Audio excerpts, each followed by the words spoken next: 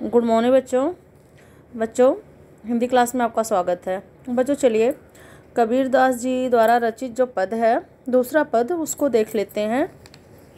हालाँकि ये जो पद है, बहुत लंबा है तो मैं इसे अलग अलग भागों में बांट कर बताऊँगी। मैं आपको पाँच छः लाइनों के भावार्थ बता दूँगी। फिर अगला भावार्थ आपको अगली वीडियो में बताऊँगी। इसी तरह से मैं इसको तीन भागों में बांट कर बताऊँगी, क्योंकि एक भाग में बहुत लंबा हो जाएगा। तो देखिए क्या पद है? मैं इसकी पाँच लाइनें पढ़ देती हूँ। संतो देखत जग बौराना। साँच कहो तो मारन धावे, झूठे जग पतियाना। नेमी देखा, धर्मी देखा, प्रात करे असनाना।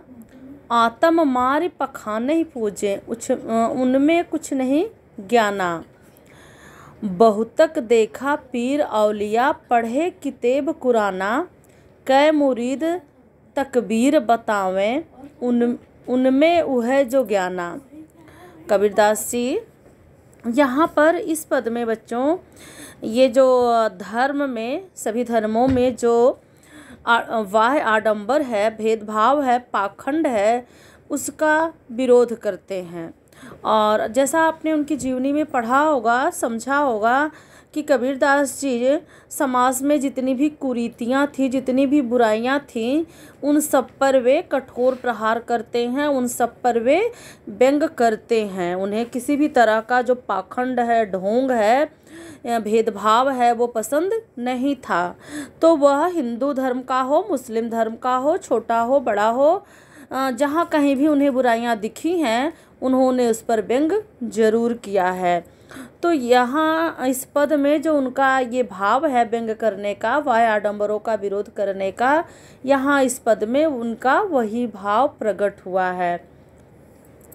तो बच्चों, इसके शब्दार्थ देख लीजिए। देखिए, मैं आपको बता दूँ, मुरीद। मुरीद मुरीद का अर्थ है शिष्य। क्योंकि मुरीद का अर्थ आप नहीं समझ सकते। मुरीद मतलब उसका उसका मुरीद हो गया, उसका कायल हो गया, उस पर मतलब मतलब उनके से बहुत प्रभावित हो गया। तो मुरीद का अर्थ यहाँ पर है शिष्य और तकबीर, जो अलग से अर्थ आपको समझ में आ रहे हैं, अलग से शब्द आपको दिख रहे हैं। तकबीर तकबीर का अर्थ होता है उपाय, युक्ति, जतन, प्रयास। अब देखिए कितेब। कितेब क्या है? कितेब है वही किताब। पर्याय है किताब का। किताब अर्थात पुस्तक, ग्रंथ। अब देखिए पखानई। पखानई पाखन मतलब आप तद्भव शब्द ले सकते हो पाहन। पाहन जिसका अर्थ है पत्थर।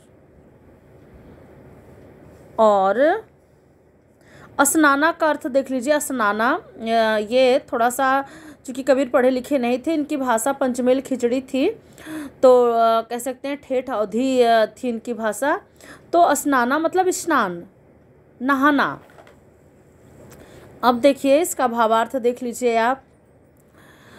कबीरदास जी इसमें क्या कहते हैं? कि संतो देखत जग बौराना। हे साधकों, हे संतो मतलब हे सज्जनों, देखो ये सारा संसार बौरा गया अर्थात पागल हो गया है। बौराना का अर्थ पागल हो जाना है।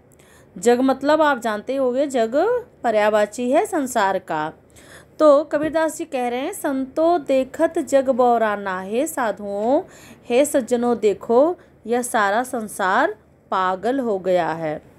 और साँच कहो तो मारन धावे, झूठ झूठे जग पतियाना पतियाना मतलब विश्वास करना, भरोसा करना।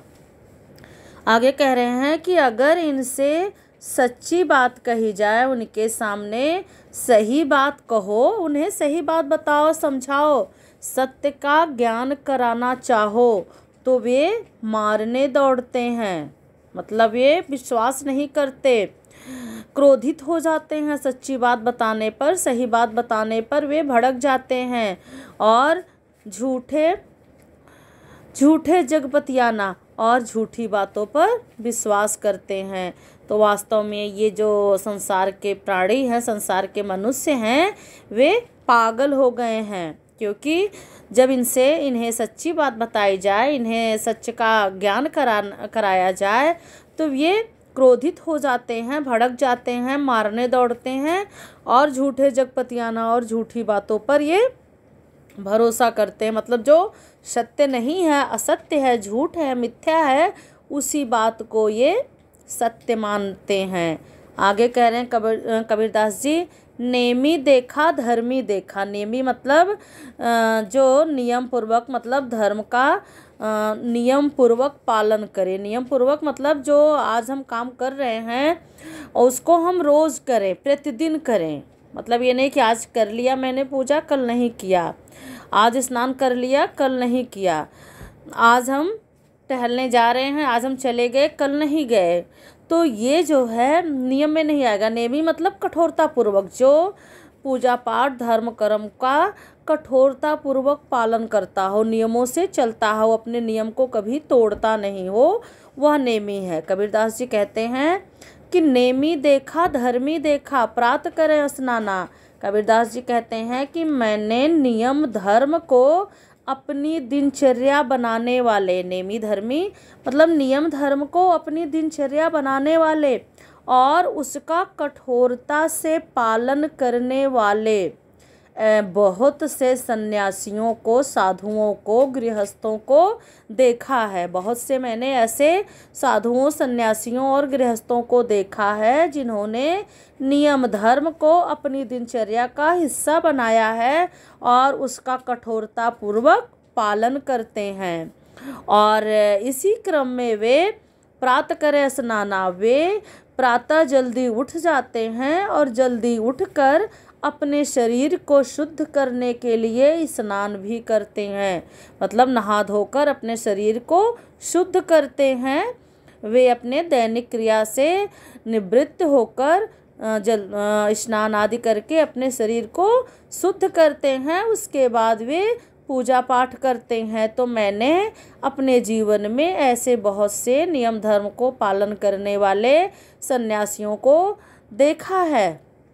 लेकिन आगे कह रहे हैं कबीरदास जी, आत्म मार पखाने ही पूजे, उनमें कछु नहीं ज्ञाना। किंतु वे अज्ञानता बस अपनी आत्मा को मार देते हैं। आत्म, आत्मा मतलब आत्मा। अपनी आत्मा को मार देते हैं। उस मतलब अपनी मन की, अपनी आत्मा की पुकार नहीं सुनते।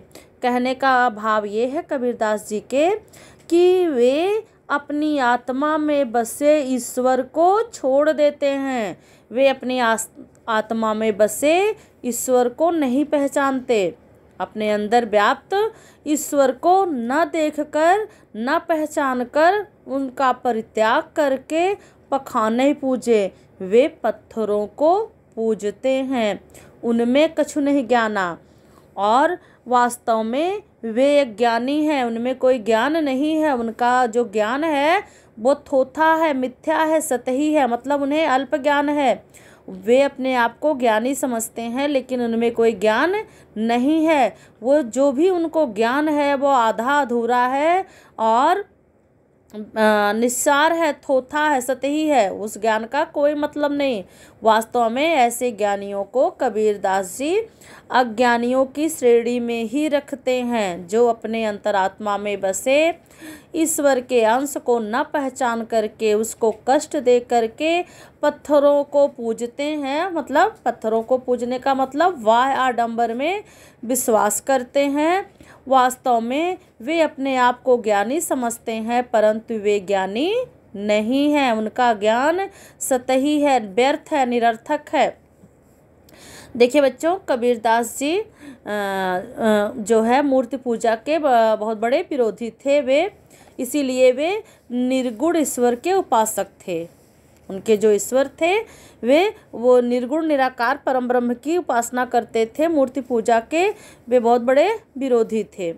तो यहाँ पर उनका जो विरोध भाव है वहाँ यहाँ पर उनका विरोध भाव प्रकट हुआ है कि जो अपने आत्मा में बसे हुए ईश्वर को नहीं पहचान रहे हैं और मूर्ति पूजा कर रहे हैं वास्तव में ये जो पूजा पाठ जो आ, मतलब ये जो कार्य है वास्तव में आडंबर के अलावा कुछ नहीं है। क्योंकि यहाँ से हमारी भक्ति नहीं दिखती है। एक तरह से कह सकते हैं कि हमारे कर्म यहाँ पर दिखते हैं कि हमें कर्म कर रहे हैं, लेकिन हमारे अंदर में भगवान के प्रति प्रेम है कि नहीं, भगवान के प्रति श्रद्धा, सच्ची भक्ति है, इसका कोई प्रमाण नहीं है, क्योंकि मूर्ति के सामने खड़े होकर फूल माला चढ़ा देना, जल मूर्ति में गिरा देना और जो है अगरबत्ती जला देना, दिया जला देना और मन हमारा कहीं और लगा हुआ है।